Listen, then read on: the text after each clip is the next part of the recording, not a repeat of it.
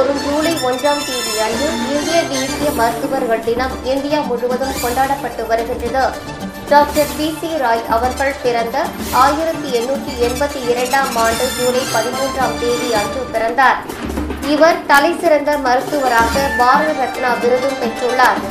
இவர் மேற்கு வங்காளத்தில் இரண்டாவது முதல்வராக பதவி வகித்து கௌரவிக்கப்பட்டார். இவர் ஆயிரத்தி தொள்ளாயிரத்தி அறுபத்தி இரண்டாம் ஆண்டு ஜூலை ஒன்றாம் தேதி அன்று இறந்துவிட்டார். டாக்டர் பி சி ராய் அவர்களின் பிறந்த நாளை இந்திய தேசிய மருத்துவ தினமாக ஆண்டுதோறும் ஜூலை ஒன்றாம் தேதி கொண்டாடப்பட்டு வருகின்றது.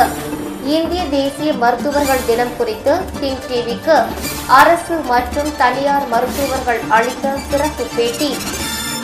பாரத ரத்னா விருது வழங்கி கௌரவிக்கப்பட்டவர் பட்டது. அவரை கௌரவிக்கும் வகையில் அவருடைய பெயரில் வருடந்தோறும் பிசி ராய் விருது என்று பல துறைகளுக்கும் வழங்கப்பட்டு வருகிறது.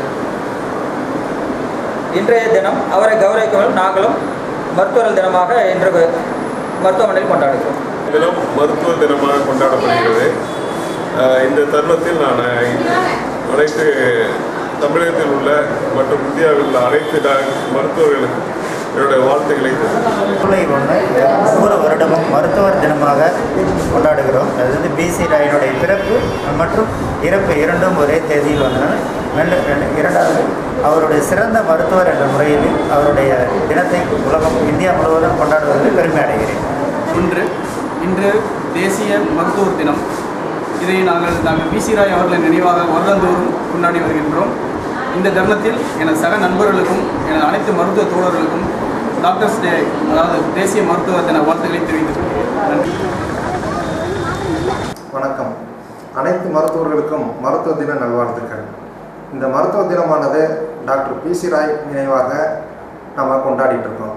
அவர் ஒரு தலைசிறந்த மருத்துவர். அவர் வந்து பாரத ரத்னா விருது பெற்றவர் மற்றும் மேல் மேற்கு வங்காளத்தின் முதல்வராக இருந்து பணியாற்றியவர். அவர் நினைவாக இந்த மருத்துவ தின நல் நன்றாலே நம்ம கொண்டாடி கொண்டு இருக்கிறோம். நம்ம அவர் சார்பாக வந்து நம்ம ஏழை எளிய மக்களுக்கு சேவை மனப்பான்மையோடு சேவை செய்ய அனைத்து மரு மருத்துவர்களையும் இதன் மூலம் நான் கேட்டுக்கொள்கிறேன். மறுபடியும் அனைத்து மருத்துவர்களுக்கும் என் சார்பாகவும் கிங் டிவி சார்பாகவும் நல்வாழ்த்துக்களை தெரிவித்துக் கொள்கிறேன். நன்றி வணக்கம்.